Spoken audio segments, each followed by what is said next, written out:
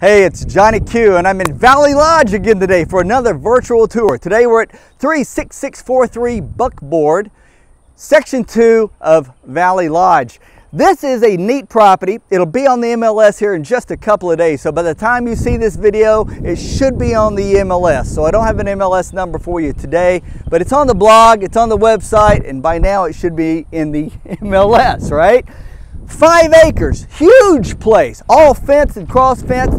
There are horse people, so it's great for horses. We got two barns, updated home. It's got a pool, huge workshop. You're gonna love this place. So we're gonna do a quick, quick virtual tour for you. Couple of quick uh, stats.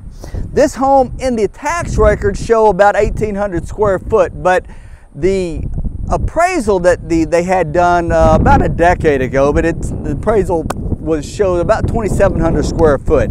I'm not quite sure the tax record. It's got 1,800 square foot, so you'll be able to see it's a good size house. About 2,700 square foot. It's three to four bedrooms, possibly five bedrooms, and we'll show you that on the inside. Two and a half full or two and a half baths, and again, pool, five acres. So come on, let's take a look at the front of the house right quick. Valley Lodge is a it's a country neighborhood. Most of the homes up up here are in the one acre or more size.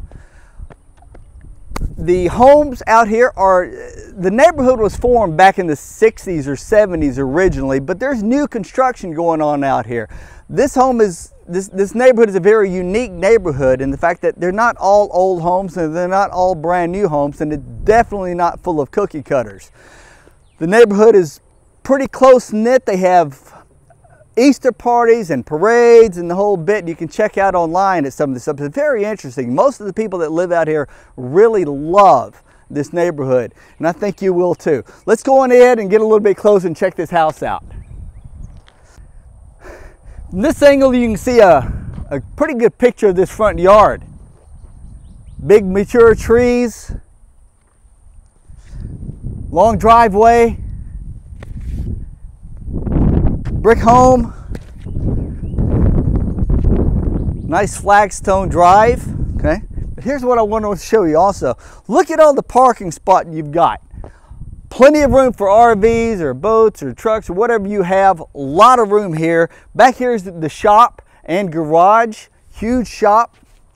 They've got another area over here that used to be a garage many, many years ago and they changed that into a nice covered patio area. Come on into the backyard.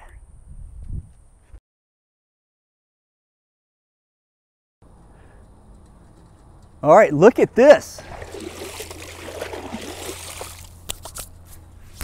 What a great time for the summertime here in Valley Lodge. Nice in-ground pool with cool deck around the edge. And this is in the back backyard. You've got good sun as the summer sun comes up over the back over here, giving you a lot of nice spots for a, a sunny day, par barbecues, parties. Follow me, camera. Look at this. This is the back deck, all cool deck, except back over here you have more flagstone. Over here, look at this. Nice citrus tree. I believe this is Tangelos, but I'm not sure. Don't hold me to that. Could be lemons or oranges. I'm not positive. I haven't had a taste yet. Let's go check out the barns.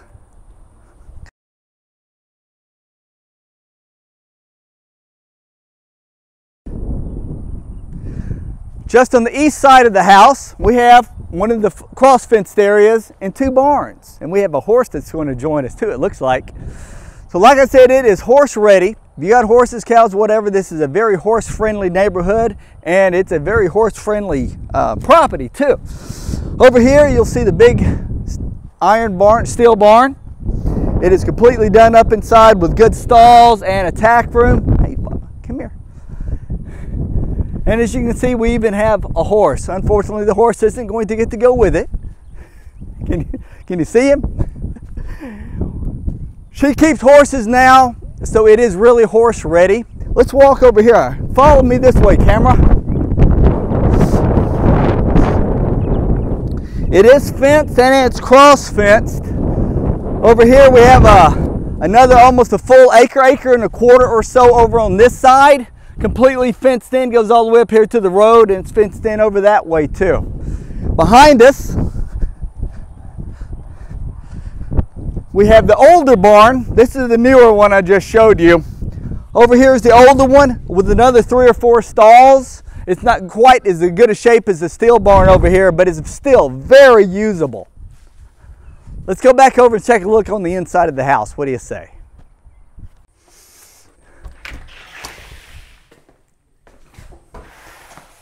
Front door, this is the entryway. I'm going to show you a few little things inside the home.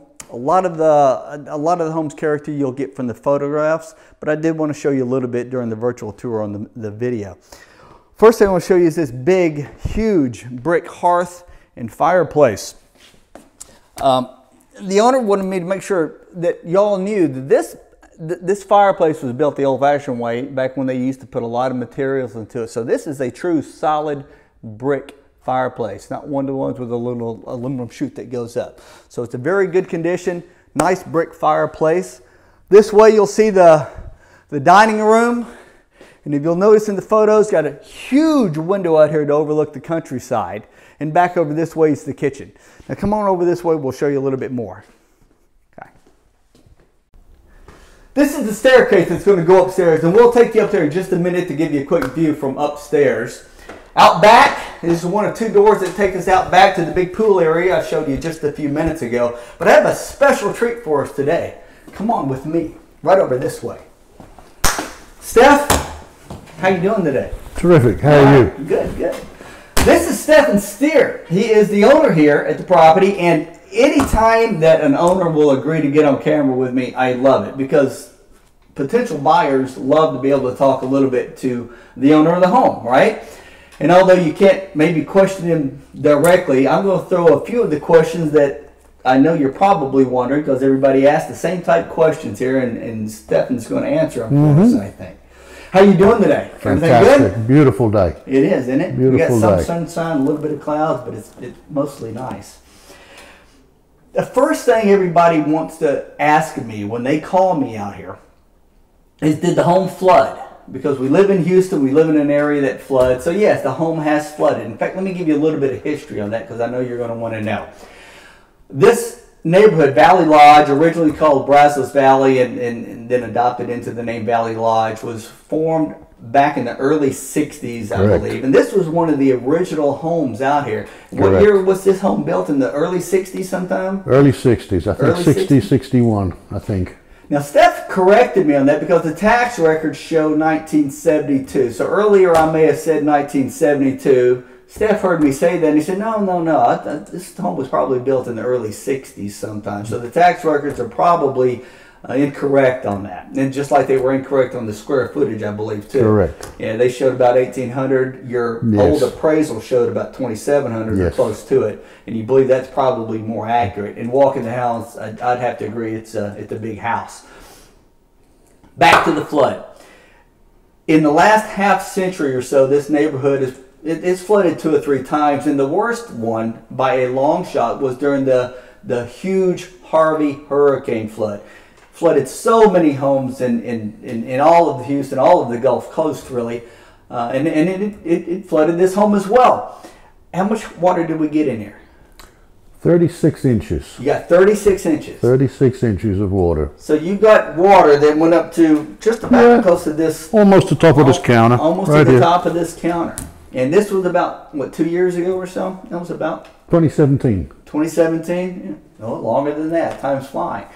So it did get flooded during Harvey like a lot of other homes did. Obviously, they tackled it, they took care of it, and did everything that was necessary to make it very livable. What did you need to do to after a flood like that? What did you do to the house to make it livable again? It looks perfect. Take the drywall off up to four feet, re-insulate it, put the drywall back, check all the wiring, replace all the power outlets that went underwater. How did they dry it out? Did they? I mean, a lot of people get worried about things like mold and stuff like that if it's not dried out quickly. I assume they dried it out They, pretty quickly. they dried it out. It takes about two weeks, so it's not a big, it's not a quick process. Mhm. But they had dehumidifiers throughout the house and the air conditioning running. It was icy cold in here, but uh, They got it dried out. and then they re-drywalled it, repainted it. uh, New obviously. dry, new new sheetrock, mudded, new new paint. And the flooring, you just had to clean up. I understand that you've got a ceramic tile floor that's made to look like engineered hardwood. So it's, It's it's hard. basically waterproof. It's basically waterproof. It went through the flood. We mopped it clean. It took a while to mop it, but it's clean. It's the same floor. Tell me this. Why would you leave this place? I've talking, I've, I've spoken with neighbors here a lot over the years, and people tend to absolutely love this neighborhood when they get in here. Why I- would you leave this place? I love this neighborhood and I love my neighbors. The reason I'm leaving is I'm getting close to retiring. I have property in Weatherford with 10 acres with horses. My cool. daughter lives on it Your daughter lives and here. we're going up there to be, all be together It makes sense. and uh, enjoy life together. For anybody thinking about living here in Valley Lodge, what would you say is the, the best thing about this home or this neighborhood? The peace and quiet is nice, but the neighbors and the neighborliness of the neighbors is what really makes this community great. Everybody looks out for everybody. Everybody cares about everybody. We have community picnics in the park two or three times a year, COVID permitting. But we have parades at Christmas. We have parades on 4th of July where neighbors are in the parade, riding their lawnmowers or their golf carts. And kids can ride their golf carts on the streets around here. It's, it's great to see the kids outside playing. That's awesome. That's awesome. I'm not going to keep you. I know that you probably have a lot more important things to do than sit here in front of our camera. But Well, thanks for coming by. I, I thank you very much for for, for joining us on My the, pleasure. camera. Um, we're going to go around and look at a few other parts of the home. And thank you. Thanks again. Thank you. We're standing here in the kitchen. I just wanted to cover a couple of things in the kitchen right quick. Notice that we've got, and most of this stuff, or a lot of this stuff was put in new after the flood, so that's a bonus too. So you got a lot of new things and a couple of older things. But this is all granite. Notice both sides granite, true wood. We got stainless steel appliances over here too.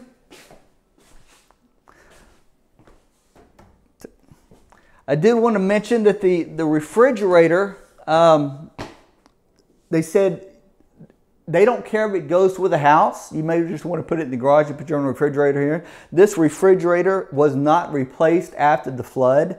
They did have it cleaned out and checked out. It may even have a little bit of a leak to it. They said not too much, but a little bit. But the refrigerator is uh, it, it's usable and it can go with the house. Probably put it out in the garage if you want to. They said, but they're using it. They love it. Um, but it's going to stay with the house if you want it. If they don't, if you don't want it, we'll take care of it. So, let's go upstairs.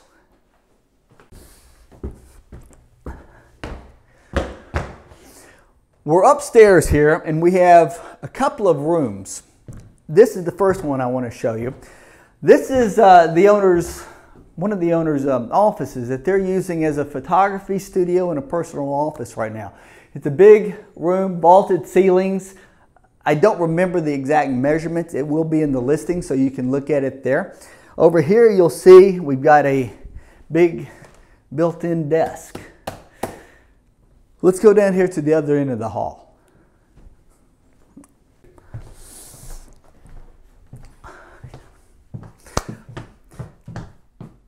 Let me give you a little bit of a background on this. This is the master bedroom and it's upstairs because that's what they're using as their master bedroom now. This is what the, the Sears wanted to do many years ago. This home was probably designed as a smaller home 40 or 50 years ago with just a master bedroom downstairs. And you'll check out the photos, you'll see a couple of photos of, of I mean, a couple of bedrooms down. One of those bedrooms are pretty big with the back door that opens up to the pool. That could possibly was originally the builder's thought as the master bedroom, and these were secondary rooms up here. The owners, the Sears, now they some many years ago they decided to make this big room their master bedroom and turn this in here into their master bath and a big dressing room.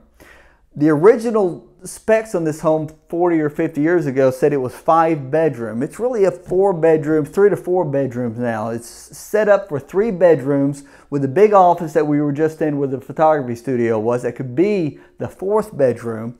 And right in here, I'm about to show you a dressing room now that originally was a small bedroom and could probably be turned into such now for a nursery or, or fifth bedroom if you really needed it. Small fifth bedroom, but hey, the potential is there.